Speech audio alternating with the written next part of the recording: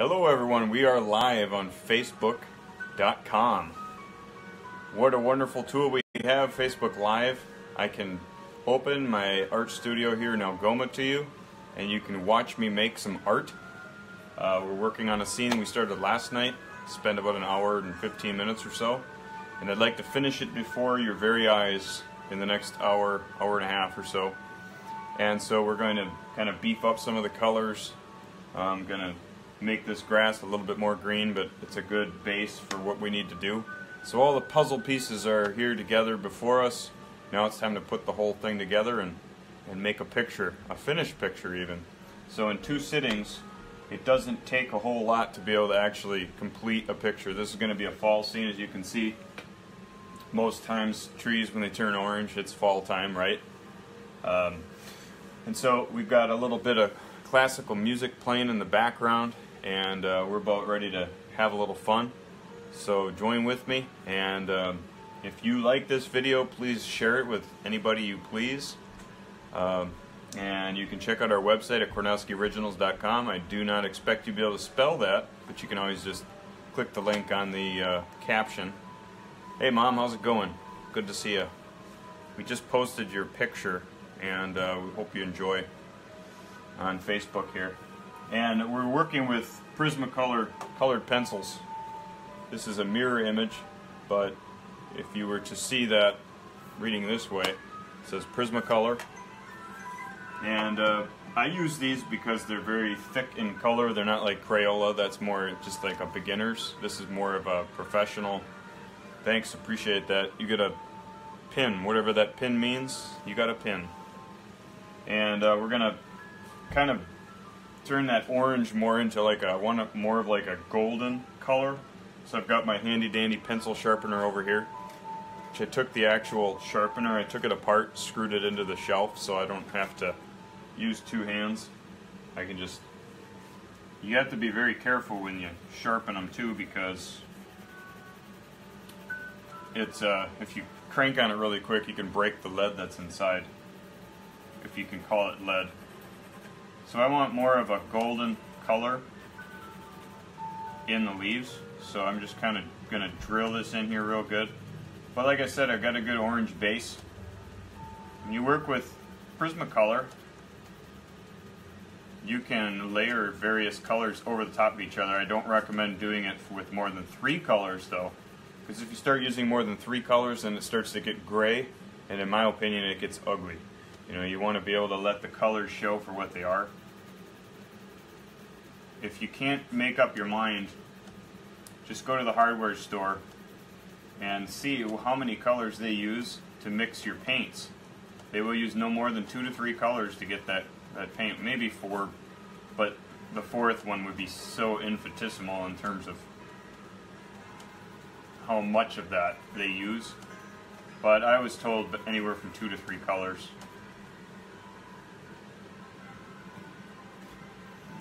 I'm going to listen to a little Rachmaninoff today. I don't know if you can hear it, but I got it cranked over on my media player. I like to listen to Rachmaninoff, especially when the, the colors change and it gets a little rainy outside. When I get to the last quarter of every year, I start to really think about what I wanted out of this year, and I start to really reflect on where, you know, what I want to achieve by the end of the year. You know, did I did I reach my goals? Did I have any goals? And that's important to me. What did I improve on? Did I learn some new things? It's very important to learn something new every day because it really works your brain. You, you, you don't let your brain go into autopilot and, and slow down on you. So that's a little bit more of a it's a goldenrod, it's called. I think I'm going to use a bit of a pumpkin orange out toward the edges. That's what it's called anyways, pumpkin orange. Pretty cool, huh? Got my hat on today, my straw hat. My daughter said, Dad, you going to wear your straw hat today? I say, sure, I can wear my straw hat, no problem. As long as I don't look, look like Vincent van Gogh painting at night with this big hat on and little candles all over his brim. No wonder people thought he was a little, little crazy in the head, right?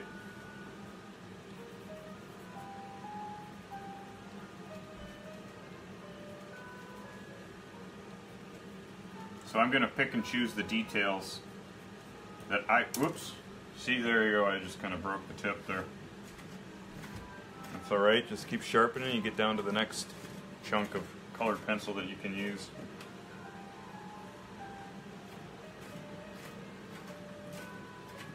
Some of these colors I wonder, you know, it's the first time I've used them, so maybe they got brittle over time. Not totally sure, I'm still learning as I go. You don't really need to have all of the colors that Prismacolor offers anyways. You just need the ones that you're going to use.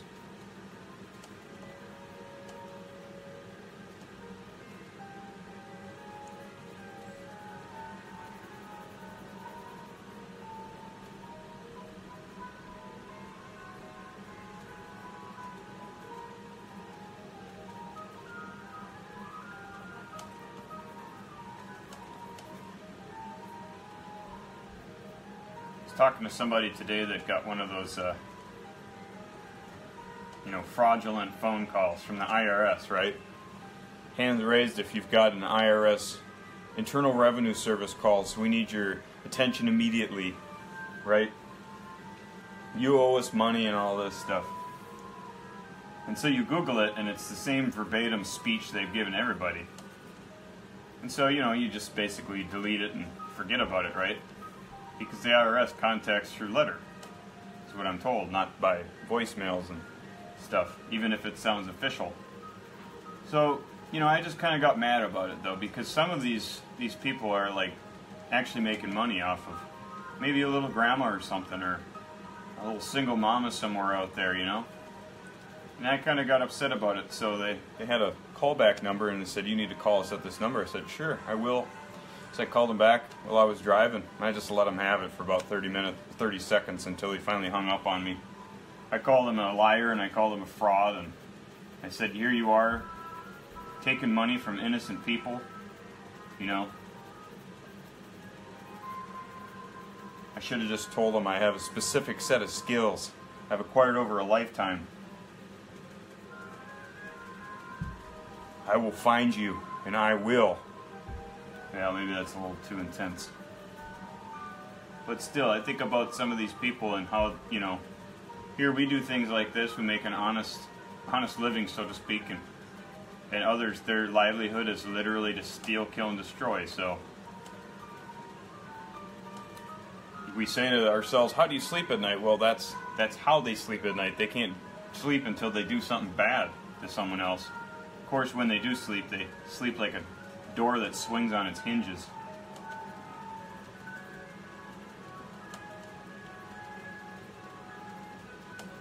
So we're putting a lot of kind of pumpkin and like we said this goldenrod color.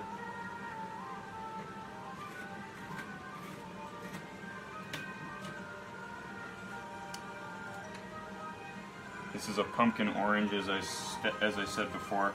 And I just want to add that to some of the fuller body areas where there's a lot of leaves ready to come off.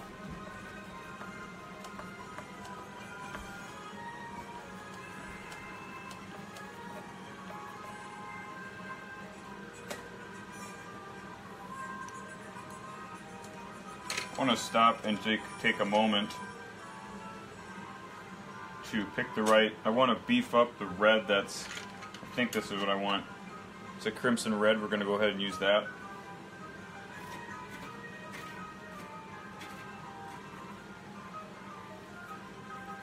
Want to darken up some of this red. So I use the brighter red for a good base. But kind of the focal point of this, if it's not the tree here, it's this you know super strong red coming out of this barn here.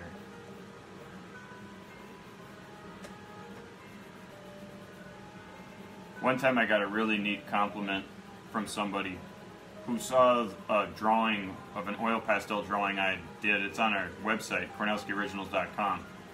And it's called The Red Barn. And the person wrote in and said, Boy, that looks like an Eyvind Earle painting. and I didn't even know who they were talking about. Well, silly me, you know, he's the guy that did the art for Sleeping Beauty, the Disney movie, when they did all the the scenes by hand and it wasn't animation. Long story short, I looked it up and I, I could kind of see the similarities, and it was a really neat compliment, you know.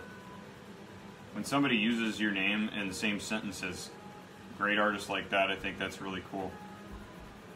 Eyvind Earle was known for his great sense of design. He did a lot of red barn drawings and paintings. And of course, even in a little place like uh, Manitowoc at the Rahr Art Museum, Rahr West Art Museum, they have Eyvind Earle originals there. And you can just tell from a distance that it's a very unique piece of art. And that's what I'm going for too. I don't strive to be like somebody else. I admire, even to the point, you know, I, I esteem others higher than myself, other artists higher than myself, but I'm not trying to emulate and be just like them because if I'm trying to imitate them, be just like them, I can never be myself. And as we grow up, we get out of the immaturity of life where you have to be like someone else or wanting to be someone else. We have to be ourselves. Hey, Arthur. Arthur, you helped start this whole thing going on Facebook Live because uh, initially it was just basically to demonstrate his piece of art, I think it's called Glory and Fire, hanging up in his house right now. And that was fun. We uh, took a fairly long time demonstrating that online. I'm stalling right now because I'm sharpening my pencil.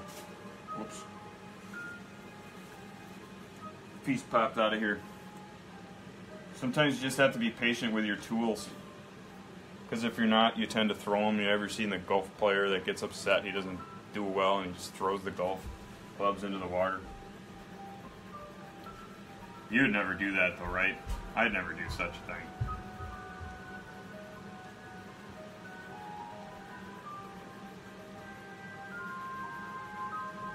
So I'm kind of really beefing up the red here. I can see it standing out.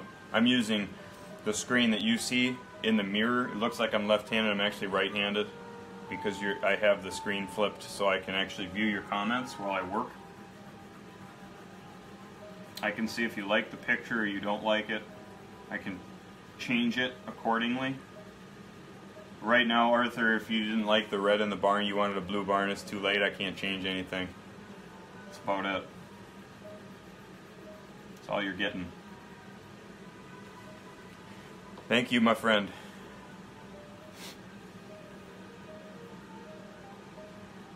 Weborg, Arthur Weborg, the cyborg. Very smart guy. Pretty good artist himself, too. Of course, you can't do everything. Sometimes you just have to pick what you have time for, and I think Arthur could be a pretty good artist just by himself as it is if you had more time to, to work at it. Maybe down the road, though, you'll have more time that opens up. You know, like Jesus said, there's only so many hours in a day, right?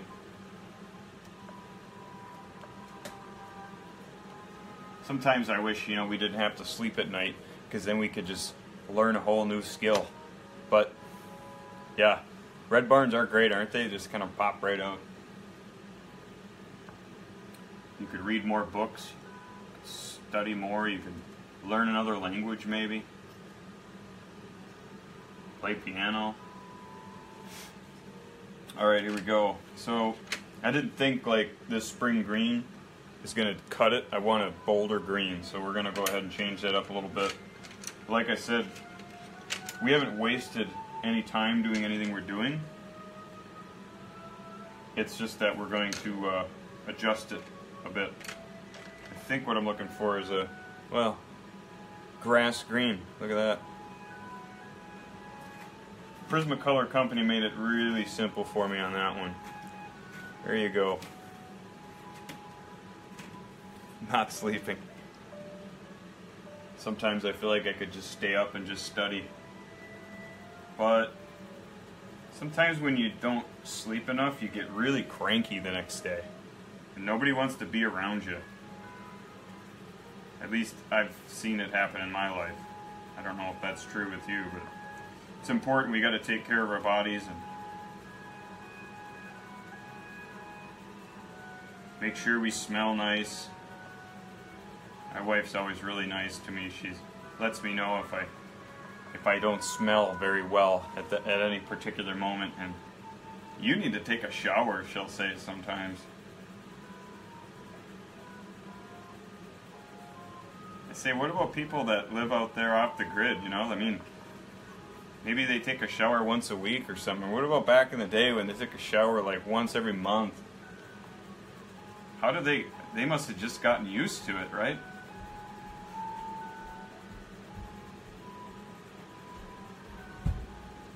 Yeah, us guys can get to smelling pretty bad sometimes when we've been really working at it and being dutiful.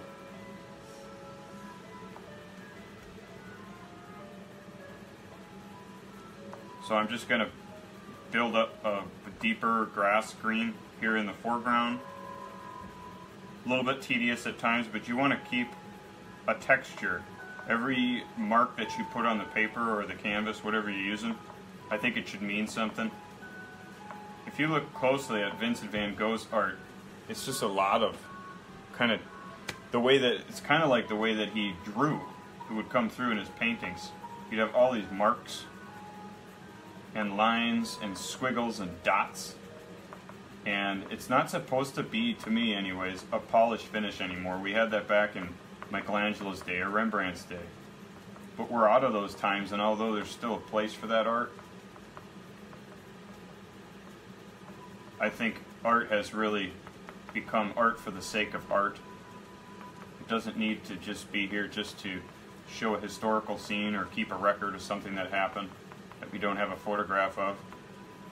Art for the sake of art is simply to express oneself, to be a blessing, not not a curse, of course, not to be rude and and to create things or draw things that are offensive. I think art at its best is art that is that is a blessing to humanity gives you a breath of fresh air when you see it on the wall. Like this scene is going to last for a couple weeks and then it's gone. The leaves are gone, and it's wintertime, so you don't really get to enjoy it all all the time. Except you can when you have a piece of art that shows it.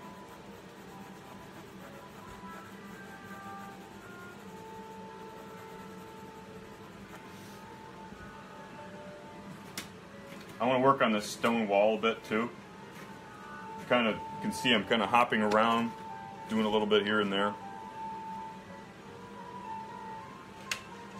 Also, I want to create, you know, contrasts. That creates like a dynamic in a picture. In the last picture we worked on, I was purposely building really thick darks in the foreground. You know, maybe there's another tree over here. So I'm going to kind of just scribble this dark grass green into the foreground which will give you an idea that, you know, there's more in this picture than what we can see. We can't see the trunk of this tree even. There's just more there.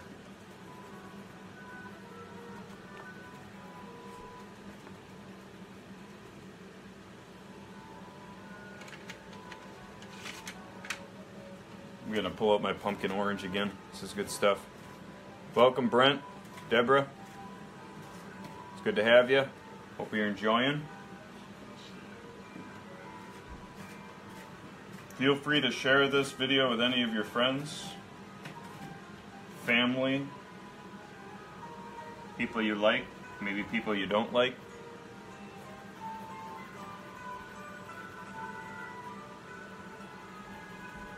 I just want to deepen this orange here in the foreground because that's what I did with the trees so it would only be common sense that those same leaves are the leaves that are laying here along the stone wall. That sounds like a poem, along the stone wall. Maybe I should write that.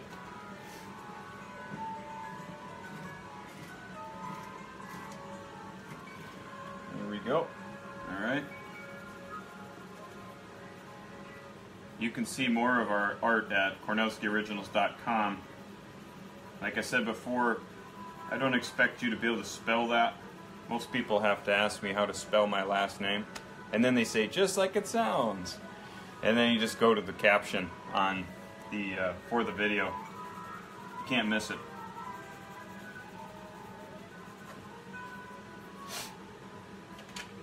sometimes it just comes down to, okay, what part of this picture needs the most amount of work? What stands out as the weakest link, so to speak? Right now, it's not that I don't like the stone wall, but to me, that's the area that needs the most amount of work. So I'm going to start working on that. There's going to be a lot of area right here that's in shade and very dark. So it's pretty much like one tone. You're not going to see a lot of different colors or, or light showing through on it. I want it really dark. I want it really bold. Sometimes I don't even stay in the lines all that much because it really doesn't matter. What matters is that I, I get the point across in what I'm doing here.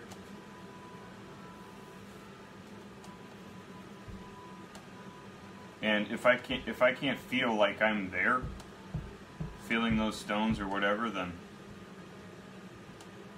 I'm not really getting the job done. It should feel like a place that I've been or a place that I will see. But I've seen a lot of red barns in my life living out here in the country area. Although I live in the city of Algoma, you know, it's very countryish. Um, whether I want to go to Green Bay or Sturgeon Bay, there is a lot of country in between, a lot of farms, a lot of cows, and a lot of deer. Hey, Alan, welcome.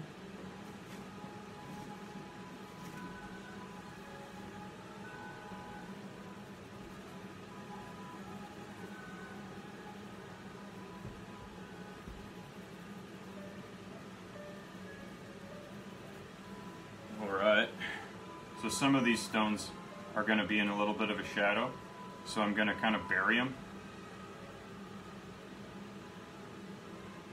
Doing this reminds me of working with Ram Rojas. He's the artist that did the big mural on the side of um, an old hardware building in uh, Bailey's Harbor, Wisconsin. And he taught me just kind of how to invent. He told me to, when you paint, paint with the biggest brush you can. Appreciate it, Alan.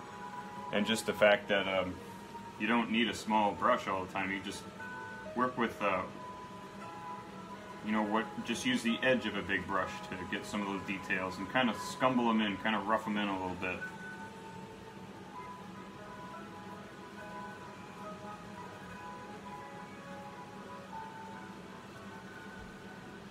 I have to say I've met some of the nicest people on Facebook Live. And some of the nicest compliments. One one person talking about me in the same sentence with a, with a one Bob Ross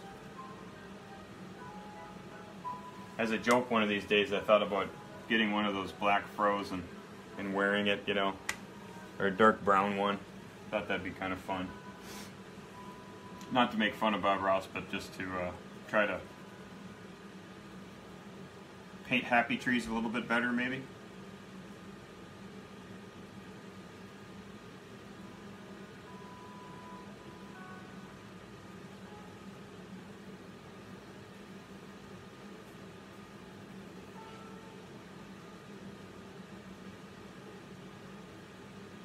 We'll let this stone come out, come out a little bit. So just by how you shade it, it can make it look like it's protruding outward a little bit more. Or like there's an indentation in this rock. Just because I, I just put that shade in there like that.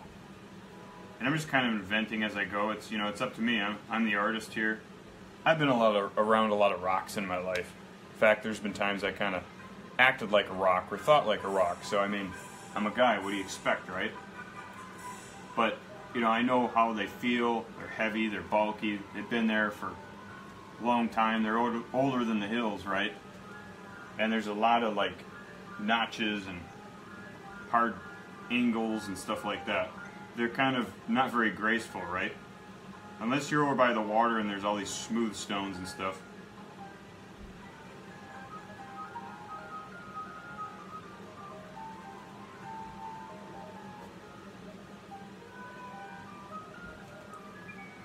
I have some of the funnest times ever just sitting at the easel, sharing a few funny stories, or at least I think they're funny, Um, I would even have more fun if you all were here sitting in the studio. That would be even more fun. Because then maybe you guys could share a funny story while I'm working. I could hear your stories. But there is a very old book that was written hundreds of years ago by Ben Veni- Ben see if I can get this right, Benvenuto Cellini. Don't say that five times fast. Hey Joel, welcome. And uh, he just wrote about his autobiography, wrote about his life, and he included during the time of the Italian Renaissance men like Michelangelo and uh, people like that. So that's why I picked the book up for like 50 cents at a used book sale. And long story short, I opened it up and immediately he talked about how he tried to write this story and could not do a very good job with it. It wasn't working. So he uh, he met up with a a younger um, handicapped man, and uh, he had him actually write the story while he worked, just like I'm working right now and sharing with you. And so it gave a little job for for this person who maybe couldn't uh, use their body the way they wanted to. And Cellini was able to free up his hands. It was a win-win situation and do some art. And he said that he was actually able to increase his, his ability to do art and get more art done while he spoke his story of his life to this young man. So I thought that was kind of interesting. So I'm not doing anything new. You know, there's nothing really new under the sun. A lot of times we just revisit the same older ideas that have already come before us and maybe even been forgotten. If we know a lot of great stories of our past or in our history of the world, there's a lot that have been forgotten too, sadly. So that's why it's very important to share the good stories that you have for American history. I, I really enjoy a lot. And I like to share stories with you know, my kids that they didn't share with me in school, and sadly, they don't tend to share in school anymore. So I bought the books on Amazon, and I have my own library. So I'm getting pretty happy with how the stones are starting to look. They're looking a little scrappy, a little old, like they've been sitting there for a long time.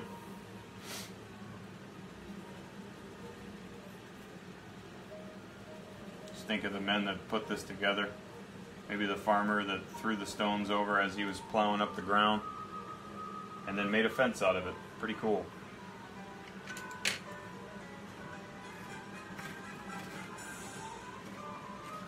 Thank you, Suzanne. Appreciate it.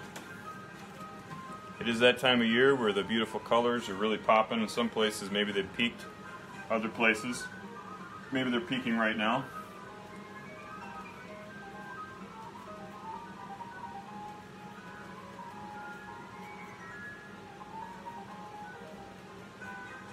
And I just like trees. I could draw trees almost all day. I don't know if I've ever hugged a tree before, but maybe if I found just the right one one of these days, we'll see.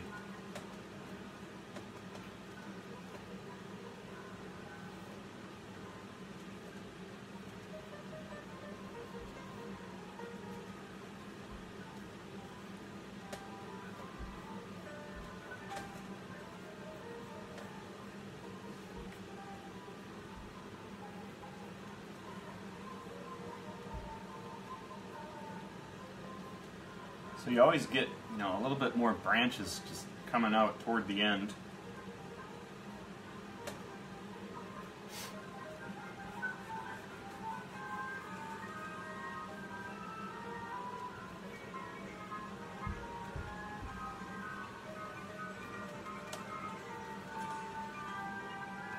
Got this massive branch coming out from the edge of the scene. Almost going right off the, the uh, camera angle here.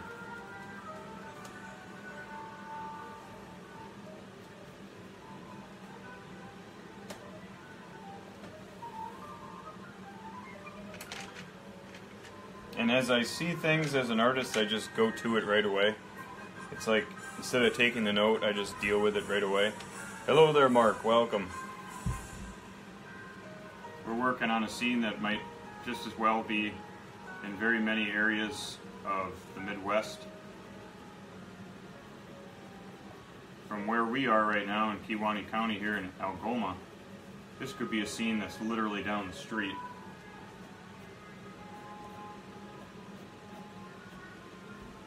Again, I want to get like a really weathered look here. I might even use a brown and not just black to do so. And I want to get some shade underneath the awning of that barn right there. So that's what I'm doing right now. It'll give more of, I suppose, a 3D effect, even though I'm not going for realism here. I'm going for more of a feel.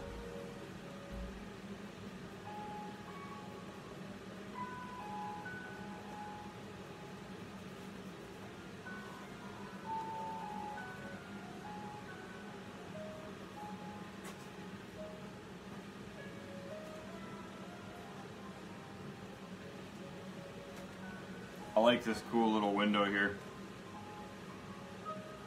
All kinds of neat stuff going on. And we'll put a little bit of shade underneath this line. I like how this line just goes straight across. It's kind of the composition idea anyways.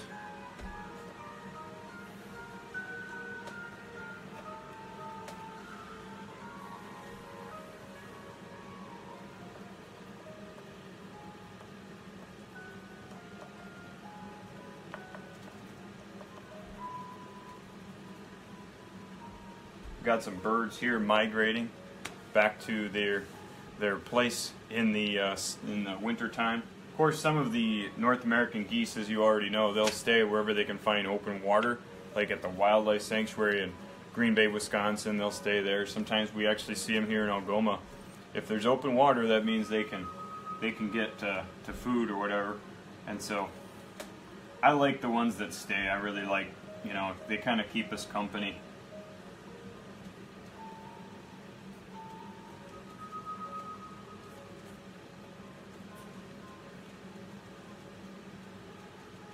Sometimes when I see him leave, it makes me a little sad because I think, you know, don't leave me, right? I don't want to go through winter all by myself. I need some some fowl here. But as nature would have it, you know, they gotta go where they belong too.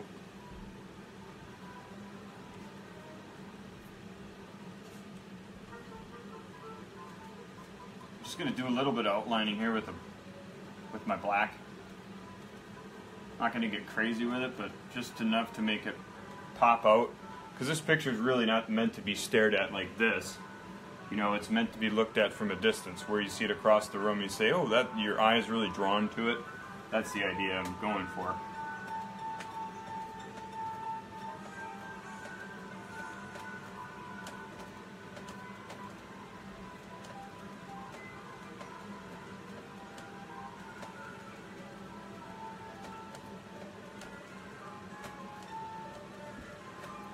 Like to observe trees. I like to study trees.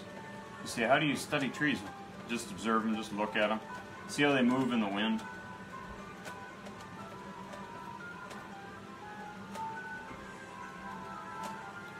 Observe the colors. Maybe you can't paint everything you see all the time. It's impossible, especially if you're driving and you're just appreciating it. But you're, I always firmly believe that everything we do as artists everything we do as people, everything we've been through and seen will actually come through in what we're doing. And if we're open enough new ideas, we'll be creating our own opportunities before too long.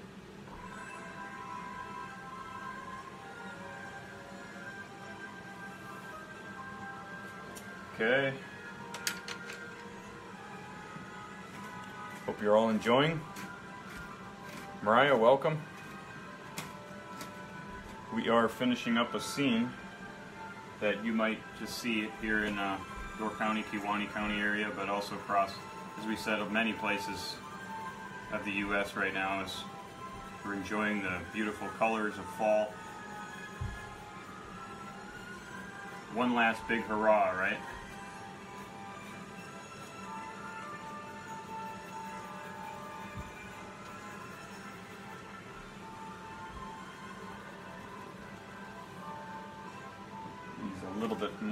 Sharpened edge on this one.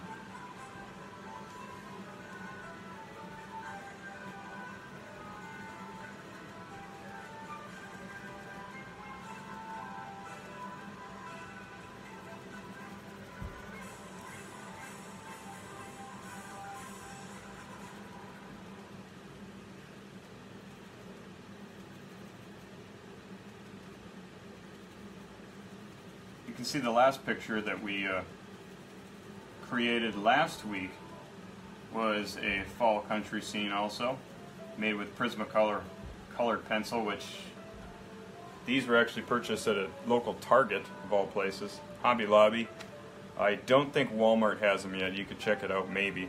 Hey Cindy, hi, how you doing? We're finishing up a, a drawing of beautiful fall time uh, we're having a good time. We're enjoying ourselves.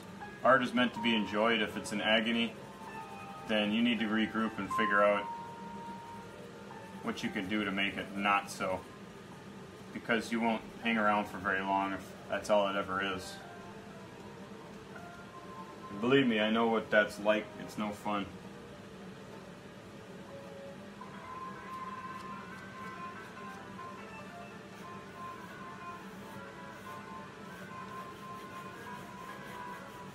Kind of get some sweeping lines in here in the sky to kind of show, you know, the, the winds of fall, how they can get really breezy. You get the leaves blowing around.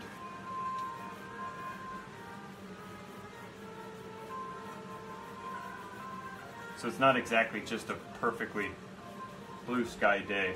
There's a little bit of clouds sweeping through in the area. I'm using paper that's about 110 pounds. This sheet doesn't weigh 110, it's just the rating of it. It's very thick paper, that's what I like to use when I'm making art. I don't want to use something that's going to start buckling or it's sitting in the frame and it starts to buckle, you know, it gets this kind of non-flat surface.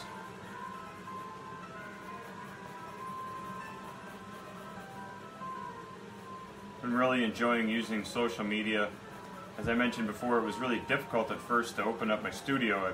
I, I painted on the street before right in front of people live, but it never actually opened up the headquarters, so to speak, and show people what I'm doing in the, the studio. So it's very different for me. America, cool name, I like that. Anna, welcome, and thank you very much.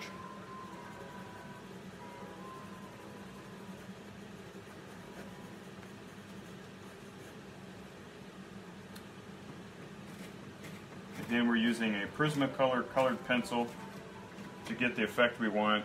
It's not like a Crayola. I mean, maybe, maybe you could pull off something with a Crayola colored pencil, but it would be hard, probably a lot harder to mix the colors, so you'd have to get exactly the right color almost every time, probably.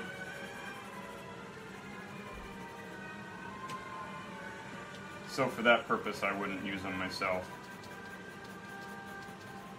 I started this picture with simply a black Sharpie marker on paper and just drew out all the lines real simple. Just like if I wanted to you know edge out this bottom of this tree a little bit. And there you go that's kind of what I do with it. It's a lot more difficult to use the Sharpie after though once the the color pencil goes on. It can get you know kind of gummed up on the tip Yeah, that's true. That would be difficult in some ways, being colorblind. I've heard of people being, you know, completely blind, of course, and being even more sensitive the, to their surroundings. And in that case, maybe they wouldn't be able to do visual arts. But just like Beethoven made the, by the time he finished his his ninth symphony, he was, I heard he was completely deaf. So the greatest moment of his musical career Interestingly enough, he couldn't hear it, but he could feel the vibrations in the piano.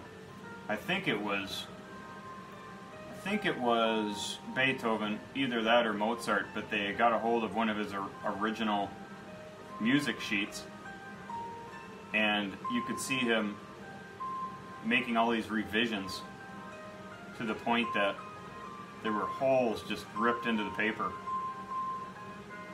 And I think that's true with, with artists. I, I think there's a, you know, there's sometimes a perfectionism that we demand of ourselves. But I think that's true in, in anything we do. I think everything is an art if we demand excellence from ourselves, which we should. But I don't think there's a perfection. I think uh, it would be wonderful if practice makes makes perfect, because then I'd be perfect right now, which is not the case. But I can get better and better at what I do by practicing and continuing to work at it and getting quicker and better at what I do.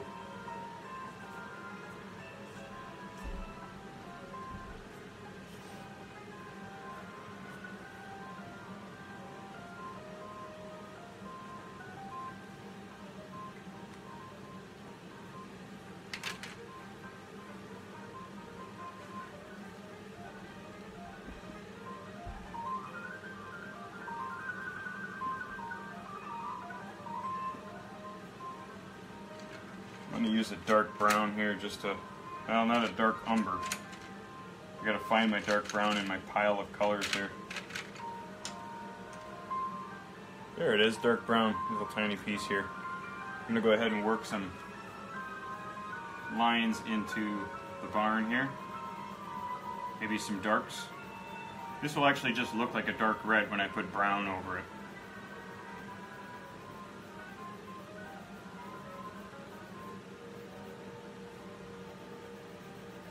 See, giving it that weathered look basically. And it's really not that hard to, to do once you have a good base to work with. You can do all kinds of stuff. You can make this area fairly dark, which makes it a little more realistic and a little, gives it more character.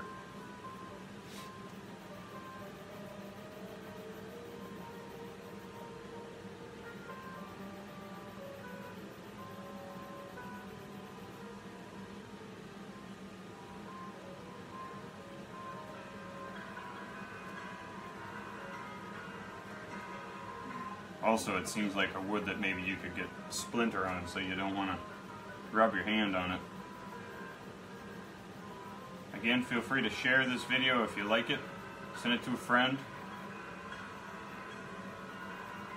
Send it to somebody you think it would be a blessing to. Enjoy a little art with you. Sometimes I hear people just kind of sit on the couch and enjoy watching. So I try to work quickly so we can get to the point and you don't have to watch hours and hours of tedious stuff going on. So that's kind of my objective.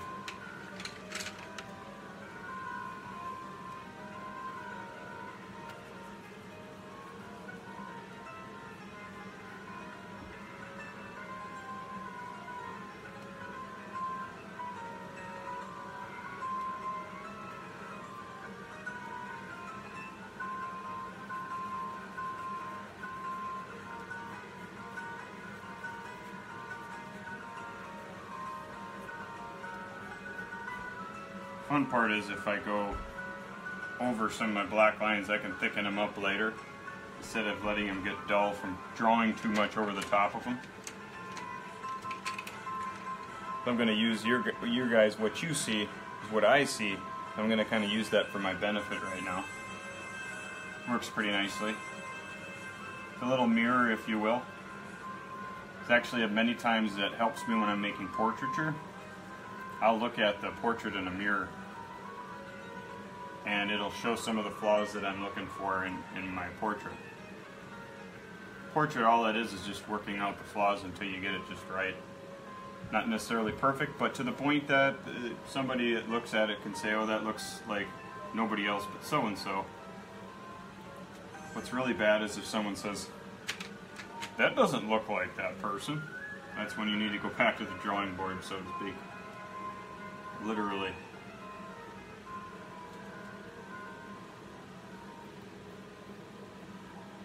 So I'm going to put a couple lines here.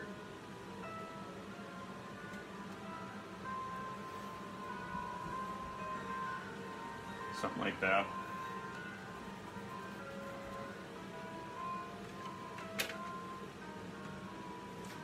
I've got a pretty good history of some of the art that I've done over the years at KornowskiOriginals.com.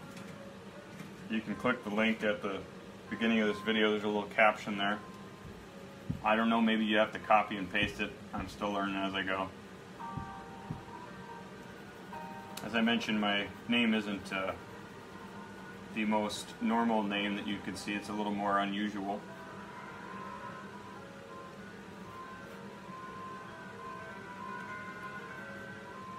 But it kind of also matches who I am too. I'm a little bit unusual, you know, so nothing wrong with that, right?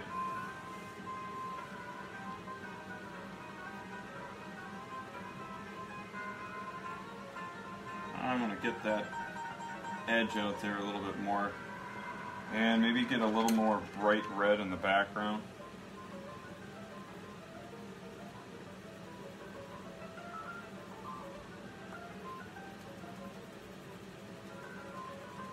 indicating it is, it is full on fall time here. Canary yellow, let's see what that does.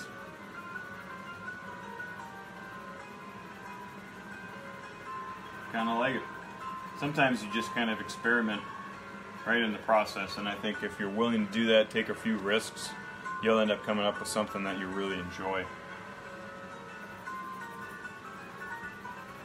And this might make that a little bit more of a golden look in some of these areas because this is a really bright yellow.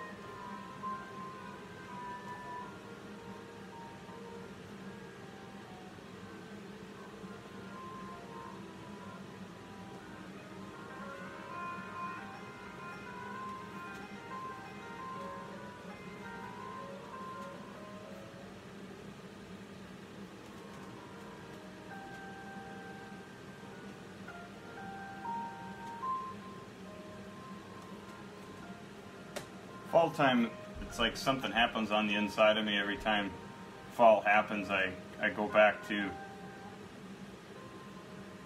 like the first time I came to a place called Door County and and met all the people in my life and um, who are still with me.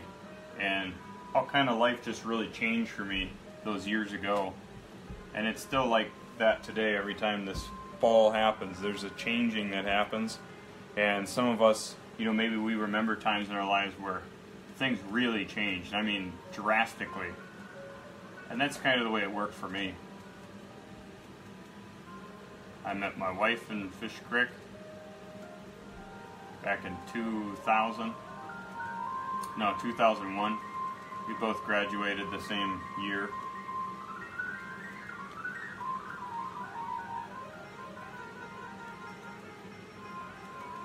Got married four years later, so I guess you could say we're high school sweethearts, freshly out of high school, in a way.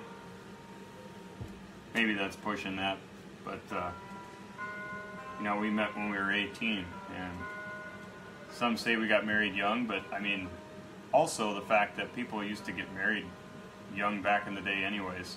We just thought, let's get our family started. We don't want to wait till our 30s, so now we've got two beautiful daughters. And they're growing up fast. So we're savoring every moment. That's the word of the day. Savor each moment. Everyone, even the ones you don't really like. See, for, just for the fact that if you're going to be there and be in that moment, you might as well just enjoy it because you don't have yesterday, you don't have tomorrow. You just have right now. And that's all you got. So make the best of every moment, really. So that's what I'm doing here with you right now. I'm taking my time to uh, not just demonstrate, but share a few things I've learned over the years. I don't know everything. I don't consider myself an expert. But I work at learning something new every day and enjoying life a little bit more each and every day.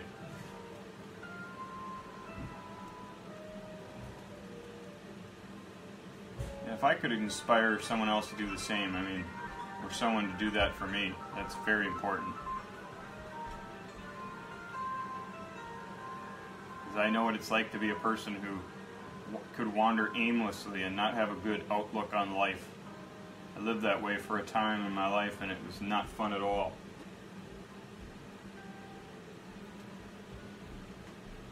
And it was completely unnecessary too. There's no reason to live that way. There's a lot of people that have had little to no advantages in life that turn out to be the greatest champions.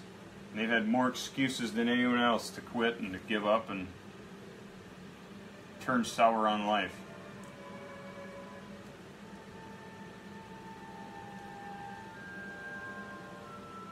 So I'm just kind of working out some of these branches the way I feel like they should. And again, it's just kind of creation. You kind of go, come up with stuff as you go, and have fun with it.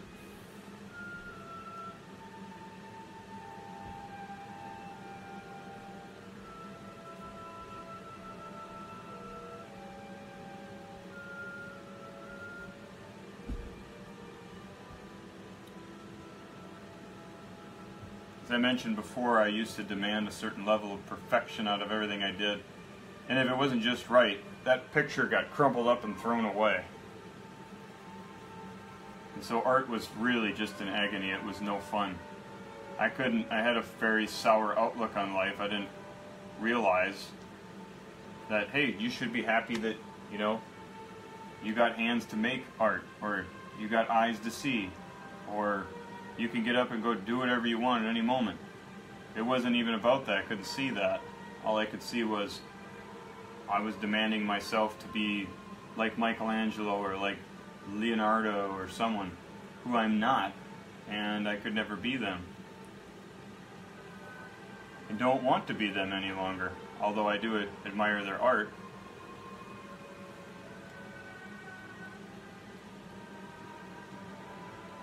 So it's important to, you know, I know that there's bad things that are going on even as we speak, but it's important to uh, not stick our heads in the sand, so to speak, but to focus on the good things in, in life that God's blessed us with in the short time we have on earth. Because if we just dwell on the rotten and the bad all the time, we're going to look sour and unhappy all the time, and uh, we're not designed to be that way.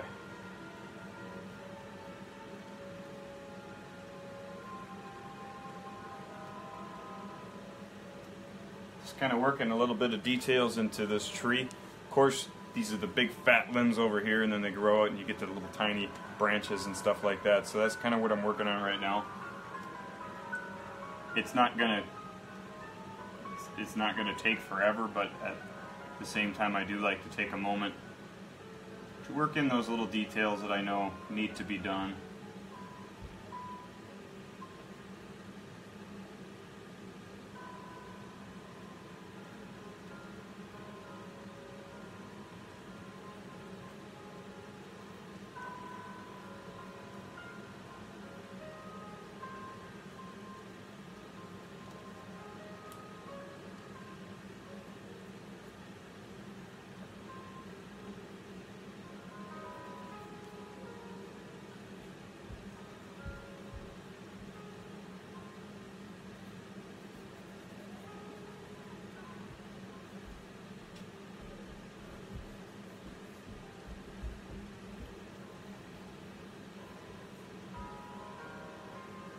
And of course, as I'm creating these branches, they need to start out thick and get thinner and thinner as you go. The human eye just picks up on something that's off. Like if your branches got thicker as they went, then obviously we'd, we'd all understand there's something not right here. You need to go back to the drawing board, so to speak, and start getting that right. So very thick branch here.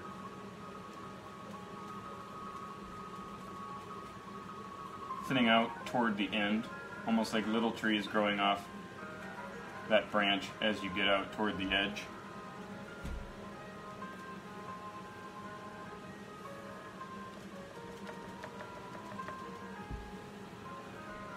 And just, you know, as you, wherever you see something that you feel like you need to put in, you go ahead and do that. Pretty simple.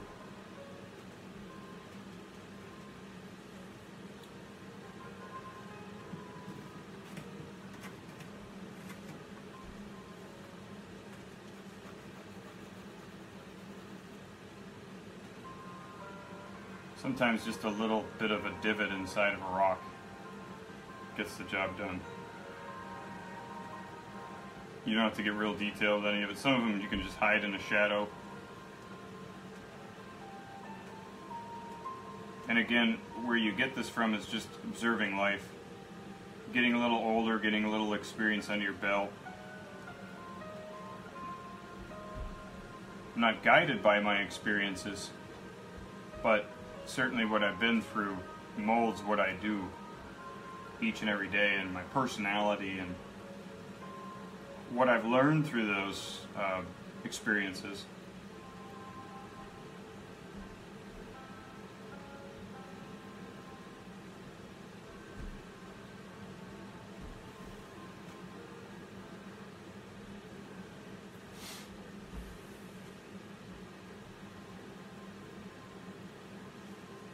So you can see how the shade really draws out over these stones and then they start to come out into the light about here.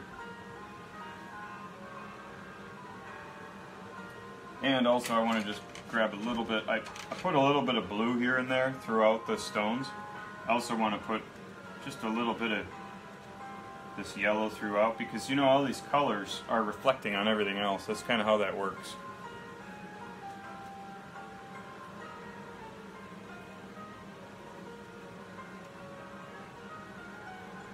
It's kind of like when somebody's wearing a green shirt, you'll you'll see the green in their eyes, if they have green in their eyes, really be reflected in it. Real strong. So that's kind of how that works. Colors are being reflected everywhere.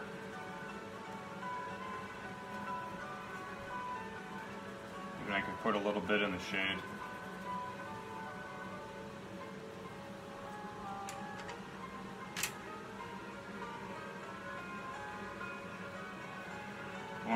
Sure that these stones look like they're settled, you know, they're not floating. So I'm going to add a little bit of shade underneath of them and kind of blend them into the leaves that I have lining up the border of this fence.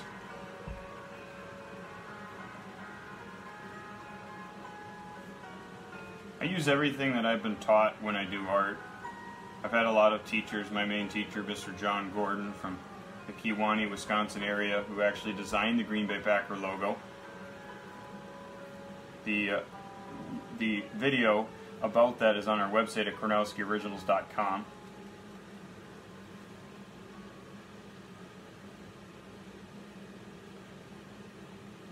Have to cheer for those Packers a little bit more than usual lately. All you Packer fans out there, now that our um, star quarterback is possibly going to be out for the season. Don't know that for sure, but I'd rather have him take a little more time to heal up. That's a that's a big deal when someone goes into surgery to have stuff worked on. So, I'd rather have a guy take more time than less time to get back on a field with 300 pound linemen chasing you around. You know, that's not necessarily the stuff that dreams are made of. Being chased around by men that are twice your size and are very angry. So I'm glad that I'm, you know, pushing pencils around makes me feel a little better.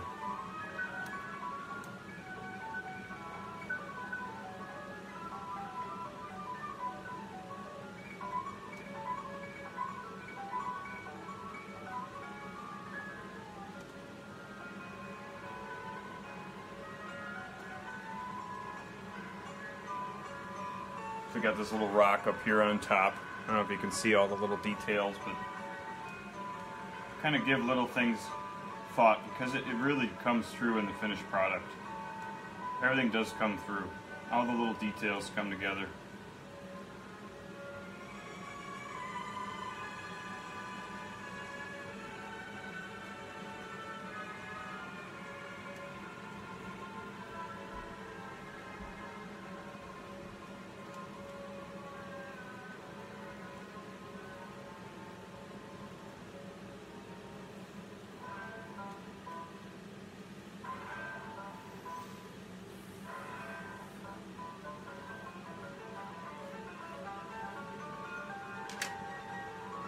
I'm going to use a little bit of a dark blue. Maybe this is the blue. I have so many blues on this tray, there's got to be, I don't know if you can see it from there, but it's got to be half a dozen. I don't know if I need them all, but they're there if I need them.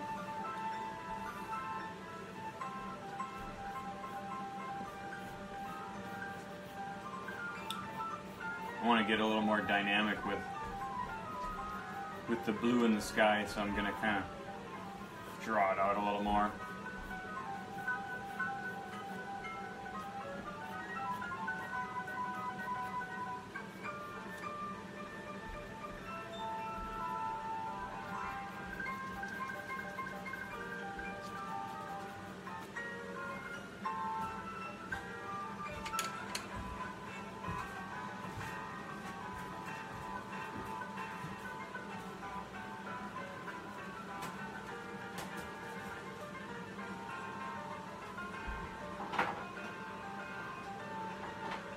Little pebble here in between the stones.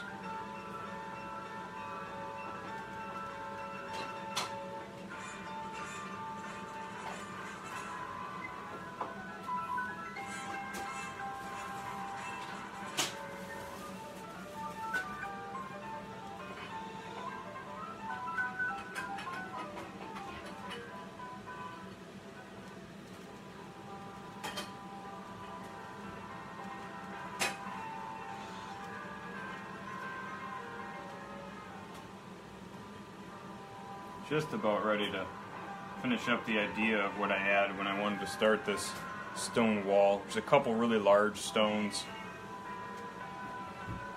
broken up by a lot of little ones. I don't know if you could hear the cat in the background. That was her saying, It's my third birthday. Say happy birthday to Delilah, our tiger cat. That's what they call her, I guess. It's the brand of cat that she is.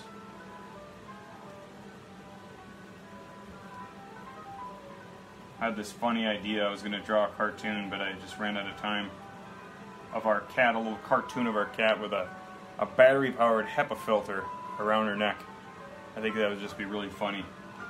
Sometimes she uh, she sheds a lot, and uh, that's why we run HEPA filters in our house. Keeps the air clean.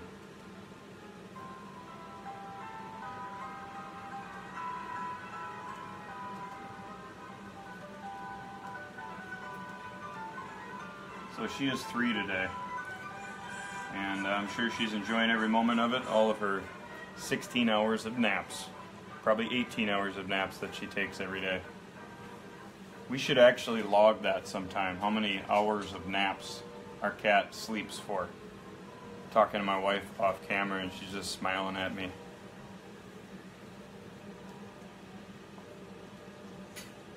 A lot of times she'll lay there, you know, like these large cats in the wild, and half the body's just laying on the ground like a like a dead animal, and then it's just the the front part that's sitting up. We also have a dog. His name is Samson. Can you tell we like the Bible? Imagine that.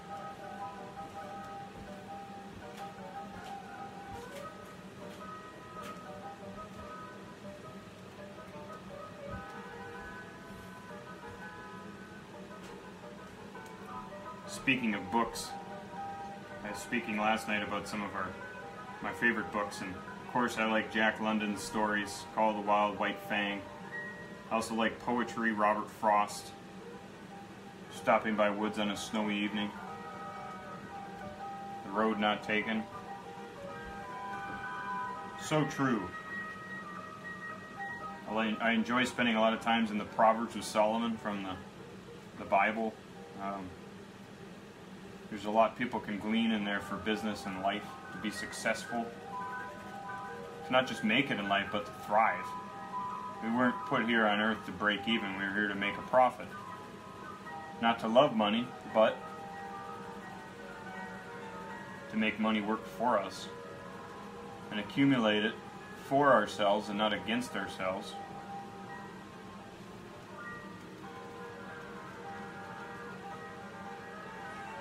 Think we're starting to bring this picture to fruition here.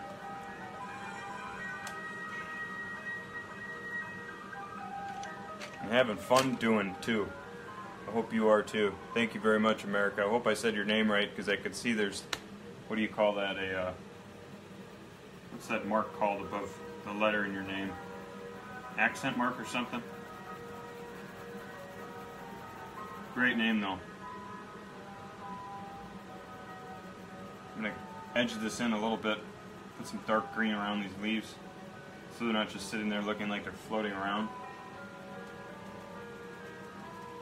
Kind of beef up the foreground because of course if you're standing there looking at this you're gonna you're gonna see some long tall lines in this foreground here so we want some element of realism. This is based on reality of course. To you it might remind you of something you saw when you were younger. Something you see every day maybe.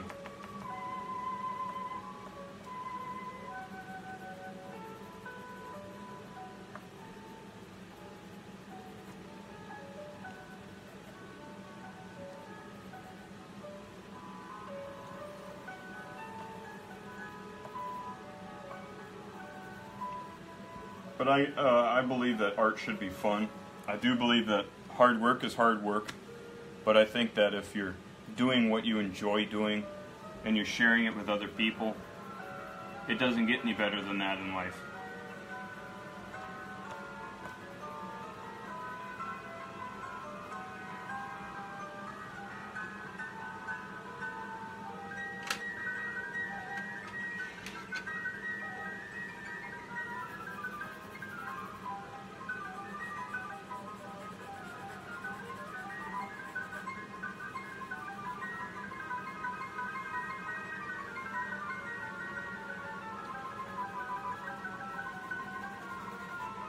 Using a light cerulean blue right now to edge in some of this background a little bit.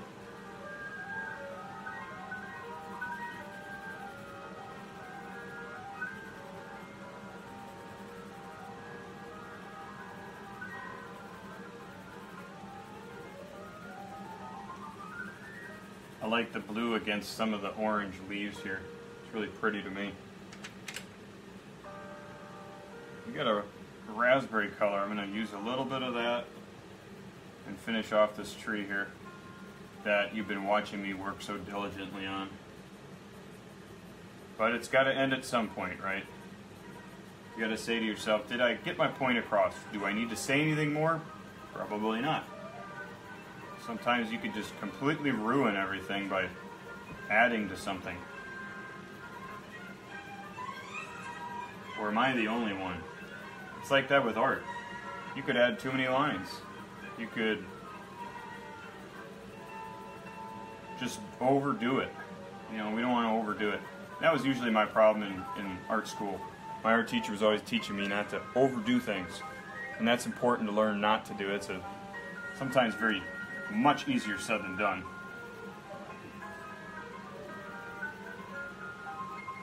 Some of the leaves against the sky I feel like should stand out a little bit more because naturally they look darker because they're standing out against a light background. Up here not so much, they actually stand out in a different way against the darker color.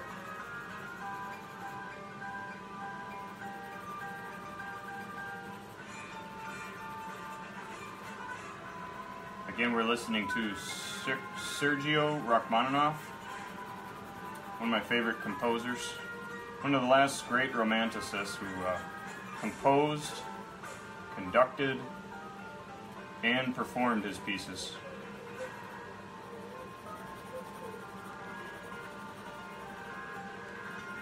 A lot of times nowadays people play the old great pieces, but I think that there can still be people who can make great concertos.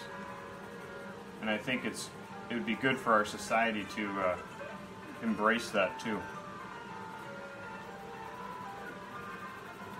Maybe we have another Beethoven among us. Wouldn't that be wouldn't that be something?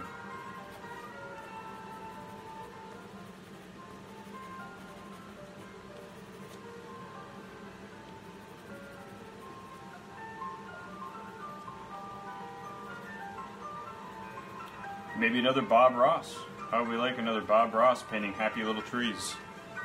You know, The only thing I can't do is I can't beat the devil out of it because you know, I got colored pencils here. If I do that, I'll just break my pencils up. This is the joy of art, though. It's it's supposed to be a joy. It's something we should enjoy, something we should share.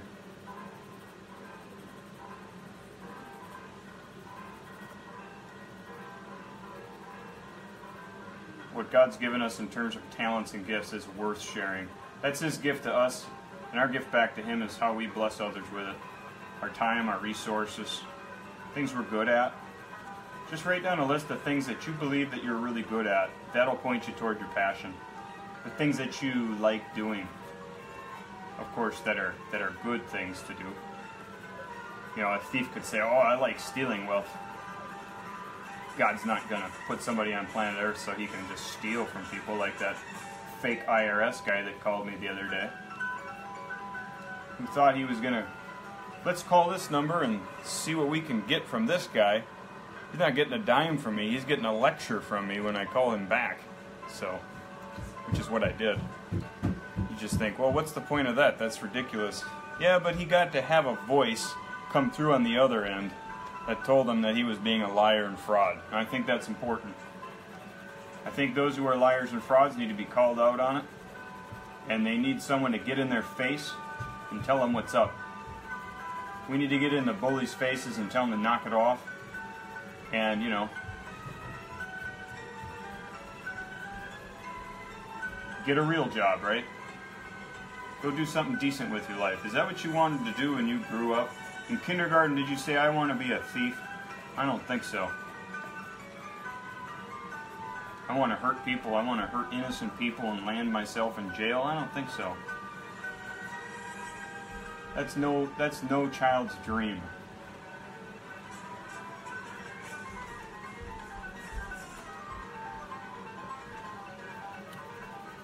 How do I know when a picture's finished? I start getting happy with it. You know what happy means? Means pleased, joyful, content, satisfied. So once I feel that, I know I'm not supposed to, you know, always go according to my feelings. But in some cases, you have to feel that this is what I wanted to say, this is what I wanted to do. I've reached my goal, and that can be difficult as an artist because there's nobody else to help you really know that. You have to know that yourself.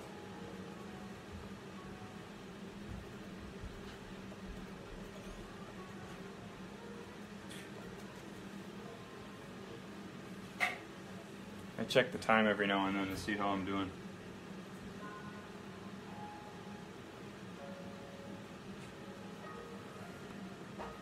Somebody had a clock once and instead of numbers it said K E E P W O R K I N G, and I think it had a 12 at the top.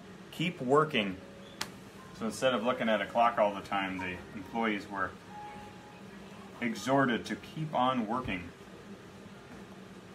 You took the energy that you use to, you know, use up the time at your employer's work or to try to get around working, and I'm certainly not speaking to everyone here.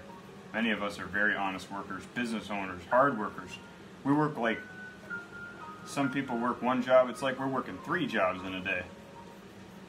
Well, for those who try to get away from doing work, if you would apply yourself toward treating that person's stuff like your own, imagine how far you could be. Imagine where you could be five years from now.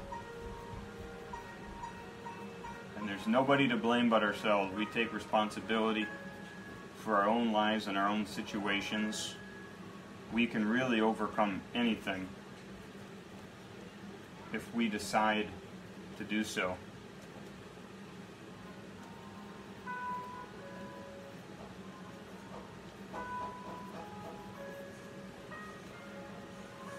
We're getting there, I promise. Just a few more details here.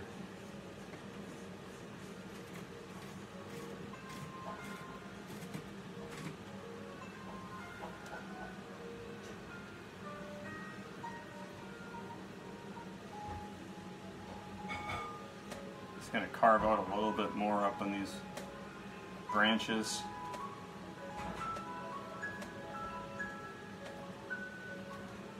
The more you can turn your brain off, the better when you're doing art. It's important. You don't want to think too hard about it. You really don't want to think much at all. Just want to do. Put little, one, one little more bird in the distance here. I like these big flocks of birds that are flying around at this time of the year.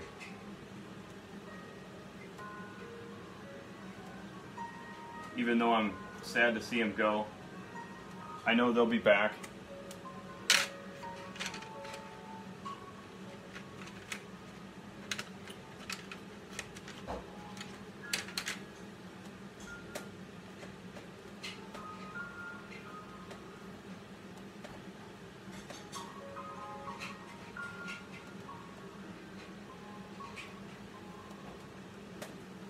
Think that about wraps it up for this picture.